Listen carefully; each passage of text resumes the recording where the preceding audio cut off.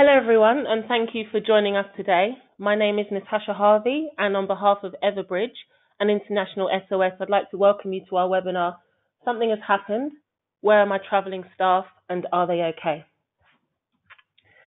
Before we start the webinar, I'll run through some housekeeping. You're all on listen-only mode, but you can submit questions at any time during the webinar in the open text field, and make sure you send your questions to all panelists we aim to cover as many questions as we can at the end of today's session. An email has been sent out to you this morning from the BCI to confirm if you're happy for your information to be shared. Uh, please make sure you respond to this email um, when the webinar is over to confirm that you're happy for them to do that. So I'd now like to introduce our presenters for today. Phil Pate is the director at Everbridge. Phil leads a team that work with many large and medium-sized organisations in the UK to help keep people safe and businesses running faster. And we have Mamta Kalinani, Regional Head of Digital Client Success Team at International SOS. Mamta heads up the Digital Client Success Team. Her team manage over 300 clients, including many of the big multinational companies. So I'd now like to hand over to Phil to start today's presentation. Good morning, everybody. Thank you very much for joining us. Uh, just to share a, a, little bit about the two organizations, um, who we are, what we do. So I'll, I'll kick off on Everbridge. Um, so we're a global software as a service company that provides uh, critical event management solutions to about 3,500 customers globally. And when we say customers, uh, with, those are private uh, corporate entities uh, about 8,000 odd public bodies uh, around the world also. So we help those organizations recognize when a risk event that is internal or external to their organization may impact the things that they care about, primarily their, their people, their assets, their infrastructure. Uh, we look about 100 different types of risk around the world. We've got a couple of hundred million users uh, in 200 countries. Um, the smart ones among you will say that's six more than are recognized by the UN.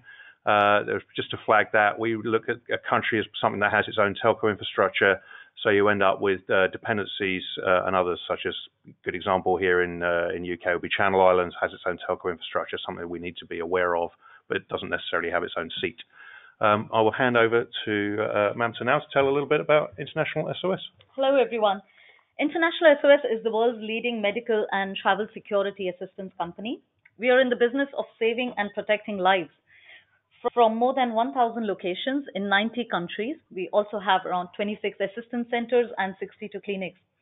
With just over 11,000 employees led by 5,200 medical professionals, we service multinational companies, governments, and NGOs globally. Okay, just to share a little bit about our, joint approach, um, we have much more than just a, commercial or paper partnership. We have a deep technical integration between the two organizations. Um, reason being, as we've just shared, we both have uh, different specialisms, but those come together uh, and solve uh, a problem that we're going to talk about today, particularly around traveling staff. Something has happened, where are my traveling staff? Are they okay? The two organizations have unique skill sets and unique capabilities within that. And when they come together uh, within, so Everbridge's world of instant communications uh, mass communications and automating instant response, and International SOS's capability in uh, travel tracking and medical security assistance, bringing those two pieces together to identify which uh, employees are impacted within a specific uh, event, being able to communicate to those individuals in the way they need to be communicated to, uh, the tasks they need to to take, uh, and advise people that need to be aware. So that's the reason for for coming together today, or, or coming together as two organisations. In terms of using uh, or sharing this topic today, it's really driven from two uh, data sources. One um, is from the Business Continuity Institute's uh, emergency communication report. It's been run for a number of years now. Um, some of the people on the call today, I'm sure, have read that. Something that's been uh, top of mind in the latest report and has been top of mind uh, pretty much since the report started was organizations have a concern about the ability to communicate to people who may be within a facility or maybe near a facility within uh, following a major event. Uh, that data is also um, uh, married, I guess, to some information sought from International SOS's customer base and market. They run a survey every uh, year, and one of those things you'll see in the top uh, line here, 44%. One of the biggest challenges is being able to communicate with employees uh, during a crisis.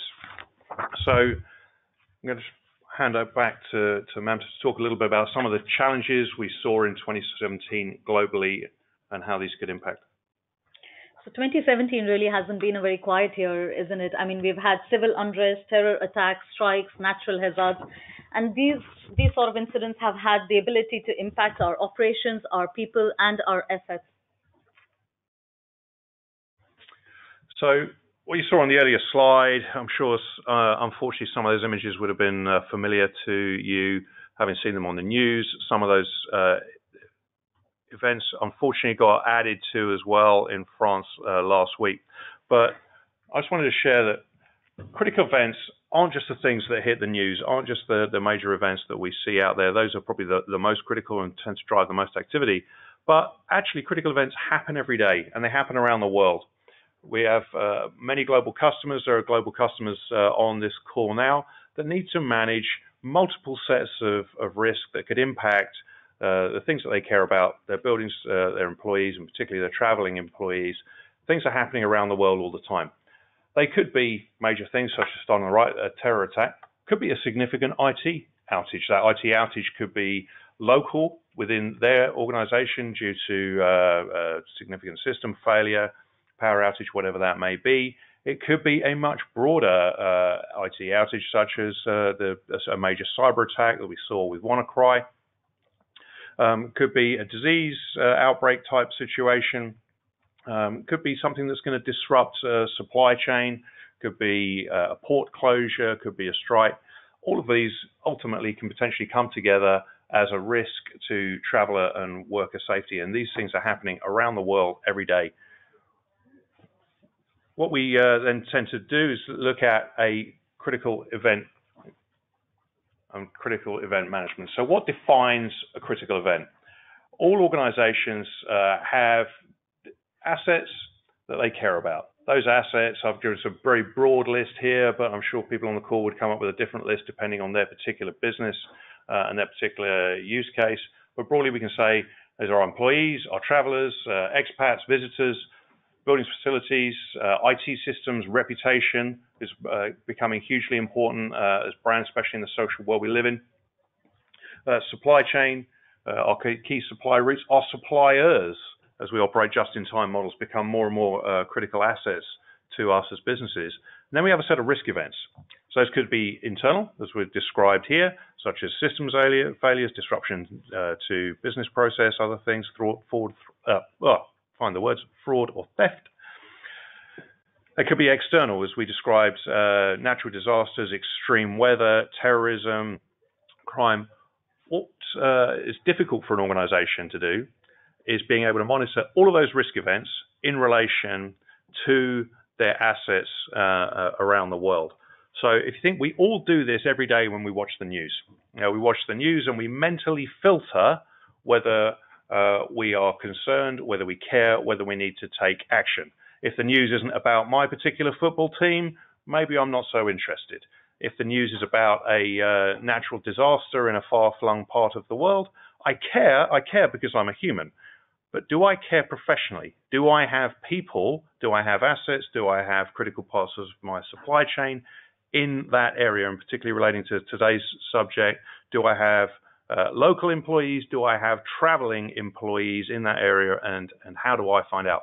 When those two pieces come together, that defines a critical, critical event. I've got a risk event that impacts something that I uh, professionally care about. What we see uh, in many businesses is upon that event, the processes become quite disjointed the data sources to get uh, an answer to some basic questions get very difficult. Lots and lots of questions get asked. the processes around being able to bring together those uh, answers and make sure that the answers match up get a little complicated. Can that threat data be trusted? Is it, is it from a validated source? Is it from multiple sources? Talked about already, does it impact us? How can we respond to this uh, particular event quickly? The quicker uh, an event can be responded to, typically the more options are available to you to manage that response, and the cheaper those options are as well. So if you can get to understanding uh, those two pieces very, very quickly, uh, your options to resolve are greatly increased. But fortunately, the data's siloed in terms of, particularly even if we look at this today's subject of uh, employees. Employees are listed in static systems such as HR systems that list their official place of work. I, for example, am not in my listed place of work within my HR system today. I'm actually sat in International SOS's office in Chiswick, so I'm not where effectively the HR system thinks I'm supposed to be. Uh, there are other ways I could potentially be tracked here. I've got a meeting in my diary that's uh, that's listed here. Uh, my uh, phone is here. I'm on this webinar. There's other ways that I could be identified. I've logged into this building. So uh, on the Wi-Fi, so there's other ways that I could be potentially tracked in, but those are all siloed sources of information as to where I am. And if you're going to try and do that across an employee base of 10,000, um, things start getting complicated very quickly. And all you're trying to do is ask the, the two answer the two basic questions that are listed below. Where are my employees and are they safe? So we talk about a critical event management process, and this can uh, help you through any critical event, and particularly we're going to talk about uh, traveling employees. That is a four-phase process. Uh, that is an assess, comes is the initial point. That comes back to what I was talking about uh, earlier. Is an event has occurred. I need to be aware that there is an event, and I need to be aware that that event impacts something that I care about, in this instance, my uh, traveling employees. And once I've managed to get that, I've got a yes to that answer is valid. I now need to start locating the impacted people and assets. How many people? Who are they? Are they there? Are they in transit to that location? And once I've then got to work my way through the, the locate piece, I can then get into act and that is being able to rapidly take the two pieces of information from assess and locate and drive a set of actions out to those people. Firstly, to let them know, let people know to uh, that need to know to take an action to start driving activity around the the resolution, uh, and all of this sits in a core of being able to communicate and collaborate and share information, and being able to visualize and be able to see uh, on a map what's happened and what is impacting in a, in a very visual way. The last piece I'll cover a little later in, the analyze, which is the after action that says, okay, how did we do following uh, that critical event? So if I uh, kick off on assess, assess means being able to monitor all the different risk data sources that are out there the news channel is going to provide you information after it's occurred and after it was important enough to be put on Sky News, CNN, BBC, whatever, which may well be important enough for the uh, watching public uh, to uh, be flagged to, but events that are important to you as an organization may not be important enough to, to make the news. And being able to track, I'm not going to go through all of these, uh, and there's not even 100 up there, but all the different risk sources that could be out there. Ideally, being able to be advised of those in advance from an awareness point of view, if you're going to be traveling to a location that is subject to these kinds of events, having something that advises your traveling employees before they even uh, take the trip. These are the things that you need to be aware of in this particular location. So there's an, an assess phase there. Uh, and then we get into locate. and I'm going to hand over to, to Mam to talk a little bit about uh, locate. And so, how do we locate our travelers? How do we locate the people who are in the in the impact zone? Technology, of course, helps us there, and we have the travel tracker solution, uh, uh which, which helps us to track our travelers. uh, and present to us a global overview of where the different, uh, you know, where people are at different times and on the back of incidents to be able to easily locate them. How do we get the data in the system? We partner with the organizations or we work with the organizations' preferred travel management companies. So that's the major data source. And of course, then there are the different data, data sources of having people to check in via their app and that check-in feeds into the travel tracker. There is the ability to connect with the Uber solution to capture the Uber drop-offs as well. But basically, the most important data source being the travel management companies and consolidating and presenting that data via the tracking solution allows you now to have a global overview of your travel travelers and to be able to locate them on the back of any incident. Okay, so once we've got uh, through that, we end up into the second phase uh, of locate. I'm going to start at the right-hand side of this slide. You see uh, a list there. When we think about employees, I've already talked about static location. For example, my static location is at our offices in uh, in Maidenhead. My last known, and these are the, if, as you work your way through this list, the earlier slide where I showed with the arrows asking lots of different questions, when I speak to organizations when an event has occurred, actually they are going through this process, but in a very ad hoc way, interrogating lots of different data sources to identify who is supposed to be there, so that's a, a static location. Are they actually uh, available uh, in work on shift? That would hit availability potentially on call. Are they scheduled to be there? No, actually, I can see their holiday records. They're not even uh, in that location right now. They're on vacation. Uh, last known could be did they did those people badge in to that office in that location? Uh, many, most uh, app building access control systems have an export function to be able to, to look at that, but that's all after the event and pulled together over um, potentially hours and days afterwards, not in real time.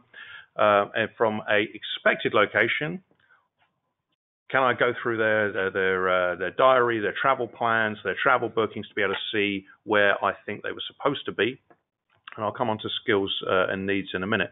But that list is uh, a manual process in many organizations today and can take uh, hours or potentially days to collate that information uh, to identify uh, those two basic questions where are my employees and are they safe? So those things get you to where they are. There are uh, tools and capabilities that we have together as, uh, as partners that can help with that and provide it in real time and connect all of those things that you would have done post the event actually in advance and have it ready to uh, to be able to to pull up those lists. As you can see in the middle box here, you can see a list uh, referring to an incident uh, in Germany. I've got 17 employees there now. I've got another 17 uh, due to be there in the next 24 hours, and another 28 that are going to be there in the next week or so. So being able to pull that potentially together uh, in real time. Once you've got, I now know uh, who's impacted, uh, and these are the individuals uh, that are there. I then need to think about who can help. So if we go to the three questions on the right, those are the, the three questions that we're looking to answer. Whose impact will be covered. Who can help? So that comes into skills and needs. So based upon the people that could respond to this, do I have first aid skilled people in that location? Do I have uh, people that uh, can potentially rebook travel that might need to be done to find alternative accommodation, uh, provide a medical evacuation if that's required, start to work out who's available and on call with those skills that can support the uh, critical event we're dealing with right now. Um, needs uh, is also interesting. Uh, we live in a world with people with many different needs. There may be an, an individual who has needs around uh, uh, physical impairments or something else that may limit their ability to maybe get audio in an airport. We need to drive uh, communications to them uh, on email or text in another way because uh, they're going to have to absorb that information through through through a different. Channel. And the last one is who needs to know. If this event is important, uh, is significant, and likely to hit the press, uh, maybe the press office needs to know. The executive is always going to want to know, even if they're not impacted. This impacts the the people they're responsible for, the assets they're responsible for, the infrastructure they're responsible for. They need to know what's happening, get that status report, and when the next one's going to be coming in, and when they can uh, potentially be updated upon that. So all of those pieces uh, come together within that locate phase, which then very quickly follows into that act, and that is about driving a specific set of communication, not a uniform set, a specific set around the event, around the individuals that are impacted in that specific geography. So having a standard operating procedure within uh, a tool set that says, based on if this event occurs, I want to drive uh, these set of communications. It goes out multimodally, so that would be uh, in a very broad sense, SMS, uh, email, voice calls, to utilize the channels of communication that all of us already have. Already have multiple sets of communication paths that we have as individuals, being able to aggregate those and drive the same message out in sequence across all of those to make sure we get the message uh, through. And that message being uh, specific to the individual type and the event type. So that may be just an awareness because you're uh, near the area. Advised, please don't uh, don't enter this area. Or actually, you know, you're a, a, responder. You have a set of skills that are useful to assist in the response to this. Please, can you join this conference bridge uh, to uh, add to your expertise to the solution, and ultimately uh, have a secure collaboration method within that as well.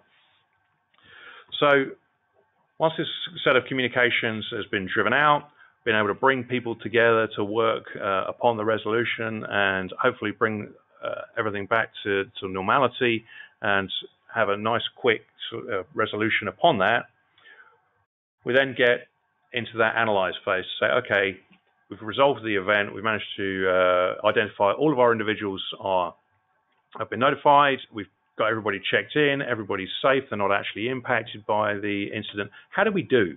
How did uh, the other industry bodies, other companies do? How can we compare that against a set of benchmarks? Have an auditable after action report that can be pulled together out of the system, say who was told what, where, and when. Um, how did different teams do within that, and how can we measure the operational response and be able to bring that together to say how can we improve this next time around? What lessons are learned? Uh, how can this be improved going forward? So, bringing that into uh, into uh, a close and a reminder. Critical event management, a four-step process. Uh, assess phase, what has happened? Does it impact my traveling uh, staff and individuals? Where are those people? Locate, being able to pull those people together uh, and getting into a short list very quickly. An act phase of being able to drive communications to those individuals of who needs to know, what actions do they need to take around that specific event, uh, and the last phase being a, uh, after action analysis, being able to uh, compare yourself against others and say what can we do to improve our response if there's a next time. So that brings me to the end of our short presentation today. Um, is there anything you wanted to add, Mamta? No? Okay. Um, just in terms of questions, I'll just thank, pass over. Thank you, Phil, and thank you, Mamta. Um, if you'd like to learn more about Everbridge or International SOS and how we make it faster and easier for organisations to account for their remote and travelling employees, our contact information is on the screen. And at this point, we're going to move to our question and answer portion of the session.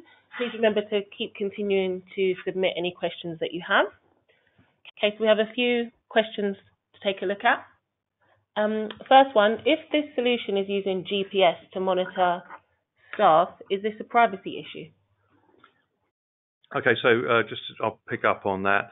So one of the facets of the tool is to be able to use GPS as uh, a method of identifying an individual's location. But let's be clear, that's the individual's choice. In the same way, all of us have mobile phones today that are checking into Google Maps, into Apple, um, into Facebook. A, your your device is already sharing your uh, information uh, to a, a, uh, central point of where that device is. Your, within your device, you have the option to allow GPS or that particular application to access the GPS on your device. You can turn it off as a, as a uniform across all of the um, applications or allow specific uh, devices, specific apps within device to access GPS. That's your choice as an individual. Um, and you may choose to switch that on and off um, in the same way I do. Uh, I have, uh, the, as an employee of Everbridge, I have these applications on my phone. I choose not to actively check in everywhere I go. Um, however, if I'm entering a, a, part of the city which may be a little unfriendly, or I'm entering a location which I perceive as high risk, um, I may choose to switch that on uh, and activate that and do a, a, an auto check-in because for that period of time I may feel uh, a little bit more at risk. But it certainly doesn't need to be a, a uniform thing, and there's no capability within the system to turn on a map and actively see and monitor and see a lot of dots walking around uh, in terms of these are these are my employees. You need to launch an instance of that, and it captures who's in that zone. Not it's not an active tool. Thank you. Okay, next question. Where does the solution get information from about world events like terrorism? So uh, we have uh, multiple sources that would come from from uh, news feeds through to uh, RSS, through to um, adv government advisories, uh, through to social media. Constantly scanning uh, the multiple sources that are out there to validate threats as we see them. So that, to be clear, uh, if you look at the different ways an event gets gets reported, events can get reported um, through news. And if you look at a news reporter, a news reporter can describe what they see. And I'll come to a specific in a minute. If you talk to someone like the uh, City of London Police, they will push out a communication when they know what is going on.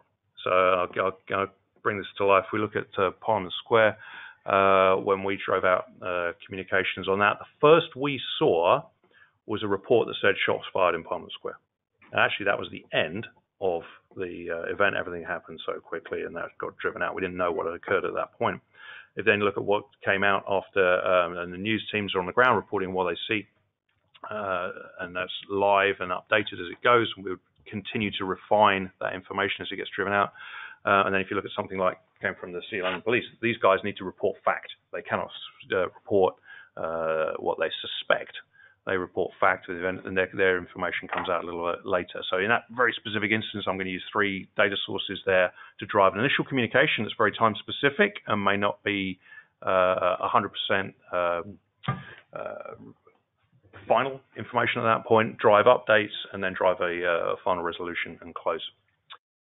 So. Okay, thank you. Um, next question: Will check-in via the app give Travel Tracker a degree of accuracy based on how reliable the handset GPS reading is? Happy to take that question. Um, the, the app determines the location by a number of different methods, depending, of course, on the availability at that time. So it's either a cell tower, Wi-Fi, or GPS. The app location taps into the device's same methods of attaining location, like like any of your other apps, Facebook. Um, we, we have a question on that would do, but it basically taps into the device's same methods of attaining location, which is either the cell tower, Wi-Fi, or GPS, whatever is available at that point, to determine the best and most precise location and present that to you via the tracking tool. Okay, thank you. Uh, next question. Following communication with travellers on the back of an incident, what is recommended um, in case of non-responding travellers? Hey, that's that's really a very good question, and our um, and our security experts can explain the protocol or discuss in details. Generally the steps to take for non-responding travelers on the back of a communication for people who have failed to respond is you know you, you try to send another message you try to call the individual on any other phone numbers that you have saved for them. You will identify those with incorrect contact details and find the correct contact details for them. Maybe that's one of the reasons why uh, you you know failed to obtain a response uh, you would try to check the itinerary and location details to clarify where the individual was at the time of the incident maybe try contacting colleagues on the same trip. Um, check on social media as well. So maybe this person is not reachable, but they have, you know, they're, they're communicating with people via Facebook, uh, or, uh, and so that's one way of checking. Contacting the head of the department, other colleagues, HR, family members, even uh, contacting next of kin. So these are a couple of different uh, steps you would take. Um, but definitely, if you need further information, uh, you, you, can uh, contact us, and and we're more than happy to put you in contact with our security or medical experts who can who can explain in more details. Okay, thank you. Let's take a, a few more. Um, when does the solution? No, go. Why would we use this solution and not rely on WhatsApp or Facebook for safety checking? So um, social media has its place uh, within that. So social media, if you think of something like WhatsApp or Facebook.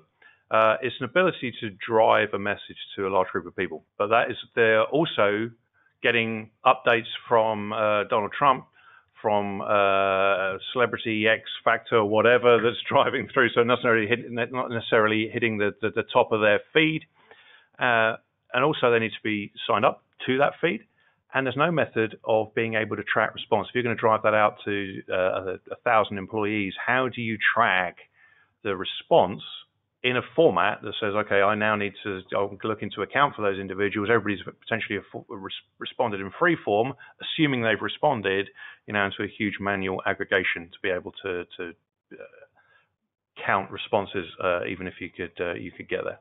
So hopefully that answers that question. Mm-hmm. So final question. Um, regarding the act phase, you talked about the communication and identifying who needs to know. Can International SOS play a role in that phase in case an individual needs assistance? Great. Absolutely. On the back of an incident and that you have now started contacting your people, depending on the responses, uh, we, we explained what you, you know, the protocol to follow for non-responders.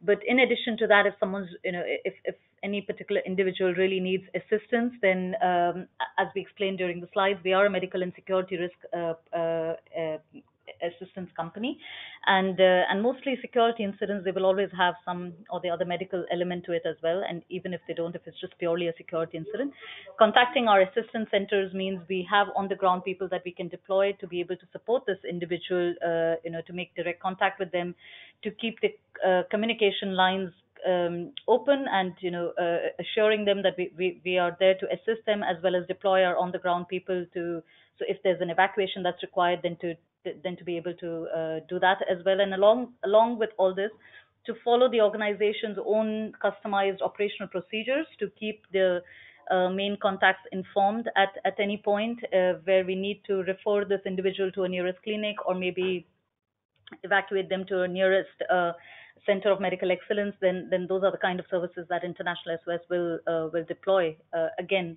um, you know, making sure that the organization uh, is made up to date, informed, and uh, made aware of these uh, of these actions. Okay, thank you. We'll just do one more. Can this be integrated with Active Directory? Auto removal of details of employee leave the company has data protection GDPR touchpoints to remove personal contact details? Yes, I think the, the uh, question is can the system be driven from uh, the core HCM system of record within the organization or Active Directory? The short, the short answer is yes, and that's the vast majority of the way uh, the tools get implemented with our customer base. So you're looking for a core system of record, uh, whether that's Active Directory or the uh, HCM system. It says, do I have an employee? Uh, are they still on the payroll? Yes or no. So that starts with that core record, and that core record would hold a set of um, uh, personal information of that individual the individual then may choose to add additional information that wouldn't be captured potentially in the HCM to the Everbridge tool. That may be their personal mobile numbers or other things, and that's their choice. So it's all opt-in. There's no mandatory piece within that.